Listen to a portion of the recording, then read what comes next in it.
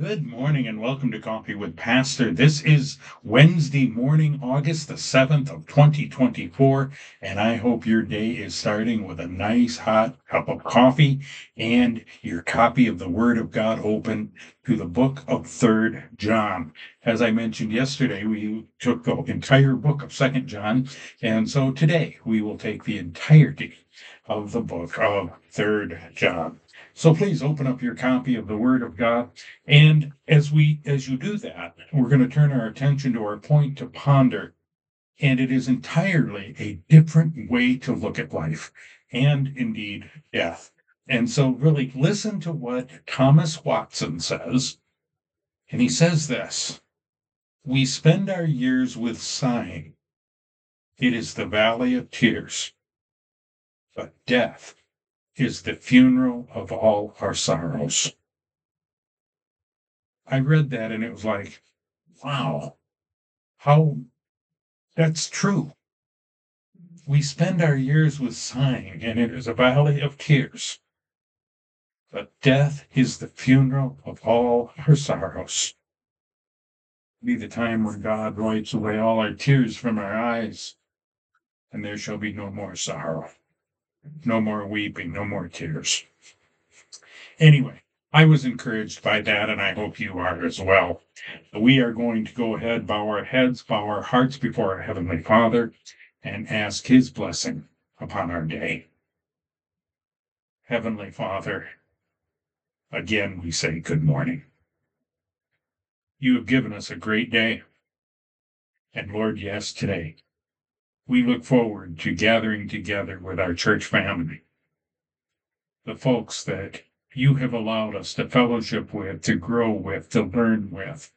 And Father, I, I say thank you. And Lord, tonight as we gather together, we ask your blessing upon our study as we look a little bit closer at the Passover. Father, we come into your presence and we stop and we think of how good you have been to us. Everything we have is a result of your grace. You didn't have to give it to us.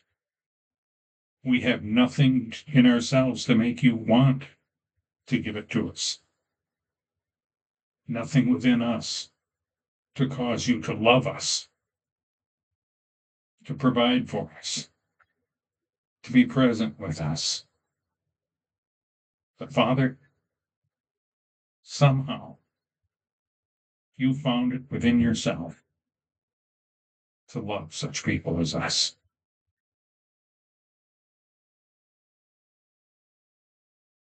Father, that's beyond our comprehension.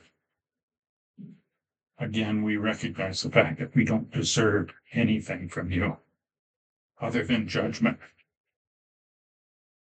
eternal condemnation. Oh, Father, we thank you for our Lord and Savior Jesus Christ, who gave himself for us, who died in our place for our sins, in order that we might have life and have it more abundantly. And certainly, Father, you have given new meaning to the life that we live Father, even more exciting, we anticipate the life to come eternally in your presence. And Lord, as we think about that, we can't help but thinking, wow. And again, we don't deserve it. Lord, as we live our lives, keep our eyes on your grace and what you have done for us. Father, help us to know that any joy that we have, any excitement, any relaxation, any pleasure is purely your goodness on display.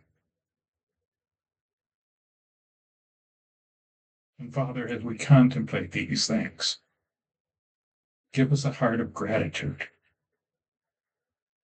And may our actions show forth praise to you for who you are and what you have done. Father, use us today. Lord, you know what we stand in need of better than we ourselves do. We pray not for excesses, we pray for what we need. And Father, again, the grace to be faithful in all that we say, all that we do. And again, may our lives point others to our Lord and Savior Jesus Christ. Lord, again, we thank you. We praise you for this time. And as we open up your word, again, we ask that you would teach us, that your spirit would work in our, in our hearts, in our lives, in our souls, opening our eyes, helping us to be attentive to the details, and yes, to the application of your word. Father, it is indeed to this end that we pray that your people would be Christ like. And Father, we thank you again, for we ask this in the precious name of our Lord and Savior Jesus Christ. Amen. We are in the book of Third John. The elder unto the well beloved Gaius, whom I love in the truth. Beloved, I wish above all things that thou mayest prosper and be in health, even as thy soul prospereth. For I rejoiced greatly when the brethren came and testified of the truth that is in thee, even as thou walkest in the truth. I have no greater joy than to hear that my children walk in truth.